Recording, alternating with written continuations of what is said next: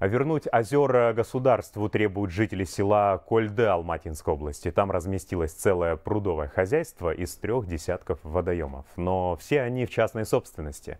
Сельчане хотят получить доступ к ним и заниматься рыбоводством. Тем более у многих сейчас нет работы.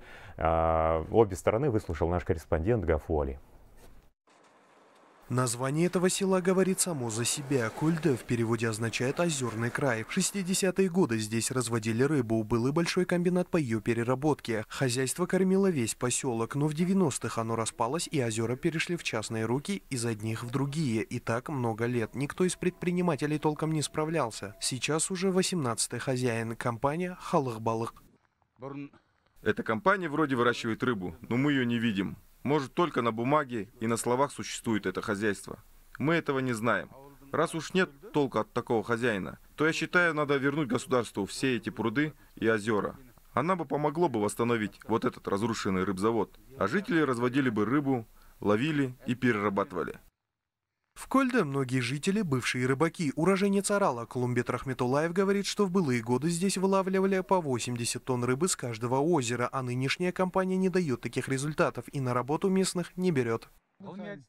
Можно восстановить производство и добиться показателей тех лет. Нужно вести системную работу, применять научную методику и кадры верно подбирать. А с этим проблем в ауле нет. В ауле почти все профессиональные рыбаки. И высохшие пруды сами восстановили бы.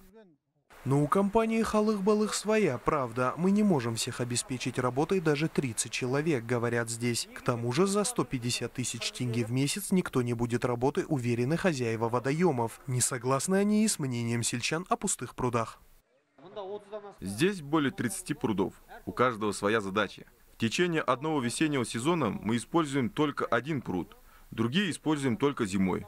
Это зимовальный пруд. А это выростные, для выращивания мальков. Здесь разводим товарную рыбу, а жители говорят, что мы не можем их освоить.